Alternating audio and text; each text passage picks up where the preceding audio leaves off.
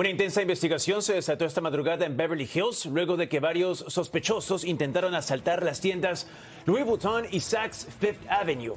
En las imágenes captadas por las cámaras de seguridad se puede observar a los sujetos tratando de romper los cristales y las puertas de estos establecimientos.